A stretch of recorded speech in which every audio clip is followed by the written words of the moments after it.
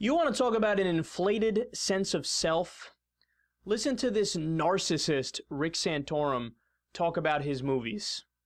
I, I'm not there to do Pastor Hagee's job. That's Pastor Hagee's job at the church. I'm not there to preach in a movie. I want to entertain. I want to throw the question out there that people, uh, the Christmas Candle movie, I've, i mean, we've heard stories uh, of, of people seeing that movie who, who just, you know, come up and say, you know, I don't, I don't want to live another day without faith and, and accept Christ right there at the movie theater. They converted to Christianity right in the movie theater. Yeah, during a popcorn break, they saw Jesus. His face appeared in the urinal cake while they were pissing.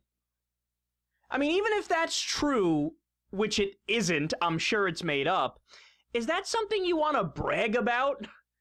Yeah, these guys figured out their entire worldview and belief system at the movies.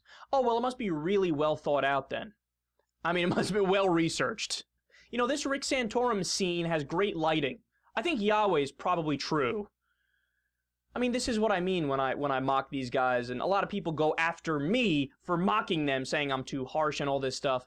I don't think I'm anywhere near harsh enough. I don't because this is not a serious human being. I got no problem with you, anybody believing anything. You could believe whatever you want to believe. But then don't say that we have to take you seriously in a political discussion.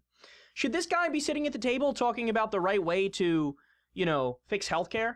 Should he have a seat at the table when we try to figure out how to do the proper economic stimulus to get things going again? He's not a voice of reason, so why should he be taken seriously?